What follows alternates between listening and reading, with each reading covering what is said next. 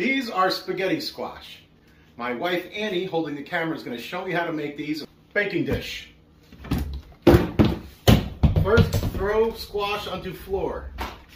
Second, use other squash up here. All right, one kitchen mallet, one kniffy. Full knife, Whoa. horizontally. Now And now smack the top of it with the mallet. Smack the top of it with a mallet. Tee, tee, taw. Okay, be careful, careful. Oh, Spaghetti squash. let me give you a spoon.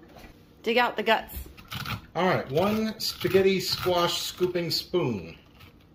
We could toast those Really? seeds if we wanted to go through the hassle of